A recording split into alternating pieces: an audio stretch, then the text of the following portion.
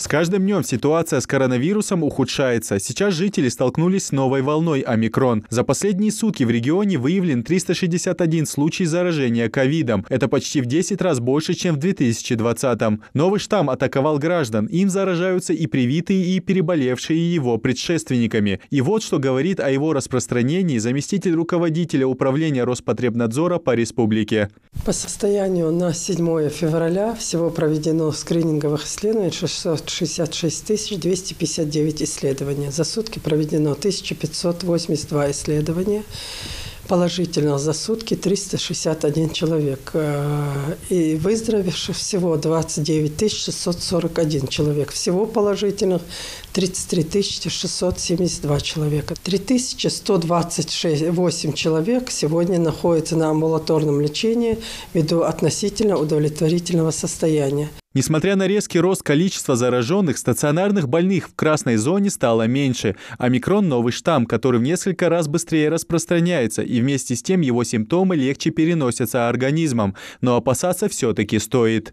Увеличилось число бессимптомных носителей у нас.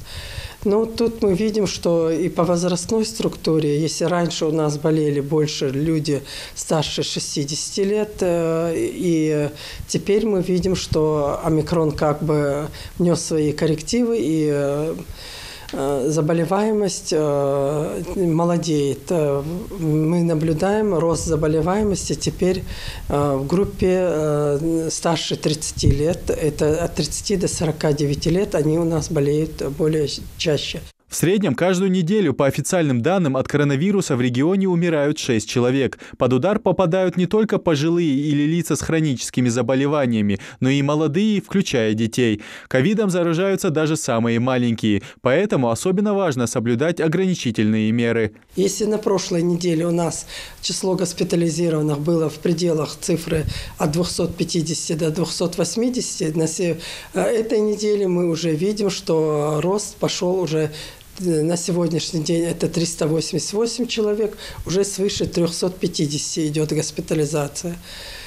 Несмотря на это, мы говорим, что необходимо все меры профилактики соблюдать, потому что у нас э, есть люди активно посещают вот эти свадебные мероприятия, похоронные мероприятия, и без соблюдения мер профилактики, без масок, э, без соблюдения социальной дистанции, не соблюдается дезрежим, поэтому очень часто люди болеют семьями. В целях предотвращения распространения вируса сотрудники Роспотребнадзора выполняют ряд мероприятий по соблюдению санитарного режима в местах массового скопления. Накануне было введено новое постановление главного государственного санитарного врача России о отмене некоторых ограничительных мер. Вышло постановление главного государственного санитарного врача Российской Федерации о том, что э, контактные, они теперь не будут э, изолироваться. И в связи с этим вот теперь э, мы доводим до сведения нашего населения, что если актуальность изолировать контактных, она уже не, не так эффективно. Поэтому сейчас введены в связи с постановлением главного государственного санитарного врача, введены вот эти, отменены э, госпитали... Э, изоляция контактных. И на сегодняшний день у нас в республике привито от количества подлежащих э, провакцинировано 93%, и от количества полученной вакцины провакцинировано 74% населения. А, Еще бы хотелось бы сказать, что на сегодняшний день в нашу республику 25 января поступила детская вакцина. А, это добровольная вакцинация детей старше 12 лет.